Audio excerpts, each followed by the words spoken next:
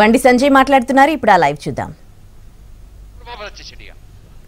వాళ్ళందరూ లాభో దీపం కూడా మొత్తుకుంటాం మళ్ళా బిచ్చబట్టుకొని ఇంటికి వచ్చారు. మరి గడ్డు అంటే ఆయన ముఖ్యమంత్రి వస్తే పేదలకు చేస్తుంది. ముంచటోని ముఖ్యమంత్రి చేస్తే మనకే న్యాయం జరుగుతుంది?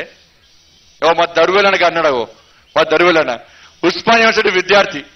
తెలంగాణ ఉద్యమంలో పొట్టు పొట్టు కొట్లాడిండే. లాంటి దెబ్బ జైలుకి పోయాడు. జైలుకి వచ్చి జైలు కూడా పాట రాసిండు. కేసీఆర్ చూసి అబ్బా కేసీఆర్ మంచోడే మన కోసం వచ్చిండి అని నమ్మిండు పాపం. లాస్ట్కు అరే ఎందుకోసం కొట్టాడినా ఎందుకో లాంటి దెబ్బతిన్నా ఎందుకోసం జైలుకి వెళ్ళిన? ఇవాళ బాధపడుతున్నా ఇల్లన్న ఇప్పుడు కాలు గజ్జ కట్టిండు పాట పాడుతుండు మాటలతో తూటాలు వెలుస్తుండు కళాకారులు ఇటే వచ్చారు ఉద్యమకారులు ఇటే వచ్చారు. అందరం కొట్టంతే తెలంగాణ రాష్ట్రం వచ్చిందన్న శ్రీకాంత్ ఆత్మహత్య మీ జిల్లా అవునా కదా? పేదలు ఆత్మహత్య పెద్దోడు ఎవరు ఆత్మహత్య? కేసీఆర్లు ఆత్మహత్య చేసుకున్నారు ఎవడానా హరీష్ రావుకు పెట్రోల్ వచ్చి కూడా అగ్గిపెట్టి దొరకలే నాకు కేటీఆర్కు కేసులు ఉన్నాయి ఏమన్నా? రేపు అమెరికాలో చెప్పాల్సిన కూడా చేసుకుంటే ఇక్కడికి వచ్చిండు మళ్ళా ఉద్యమం పేరుతోని. కేసీఆర్ కొట్టాస్తే కేసీఆర్ కుటుంబం కొట్టాలి తెలంగాణ వచ్చిందా?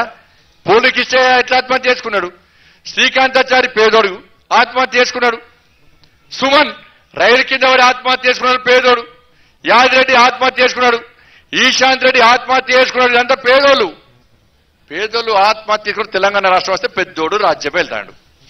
అందుకే వాళ్ళు పేదోళ్ళ బతులు గిట్ల పాడాయి అందుకే అన్ని ఆలోచించురాన నిన్ను రెచ్చగొట్టడానికి చెప్తున్నాను నేను చెప్పి అబద్ధం చెప్పిన అవునా? ఇన్నోళ్ళు చెప్పేటోళ్ళు లేరు మీకు.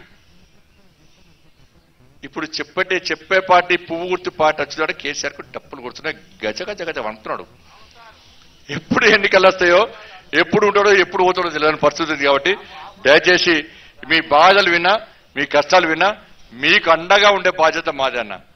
మా వాళ్ళందరికీ మీకు ఎప్పుడు ఏ రాత్రి ఆపద వచ్చినా ఏ రాత్రికి కష్టం వచ్చినా కూడా మేమందరం ఉంటాం.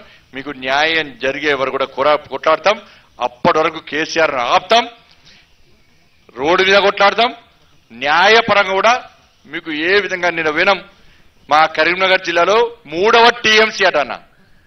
రెండు టీఎంసీలకి పర్మిషన్ లేదు. మూడవ టీఎంసీ అని చెప్పి మొత్తం గ్రామాల గ్రామాలు ముంచేస్తా అని చెప్పి నిన్న పోలీసులను పెట్టి కొట్టే ప్రయత్నం చేస్తే జాగాలు గుంజుకునే ప్రయత్నం చేస్తే సుప్రీం కోర్టుకు నేను పోయినా సుప్రీం కోర్టు పోయి పేదల పక్షాన స్టే తీసుకొచ్చినామన్నా అందుకే మీకు కూడా న్యాయపరంగా మేము కొట్లాడతాం మీకోసం.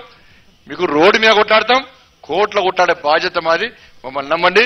మిమ్మల్ని ఆదుకుంటాం. మీకు కొట్టాం. మీకు న్యాయం జరిగే వరకు కూడా కేసీఆర్ను అడుగు ముందుకు వేయకుండా ఉంచే బాధ్యత మాదని చెప్పి మీ అందరికీ విజ్ఞప్తి చేస్తూ మమ్మల్ని నమ్మి ఇలా మోడీ గారి నాయకత్వం మీద వచ్చినందుకు కూడా ధన్యవాదాలు తెలియజేస్తూ మీరు ధైర్యం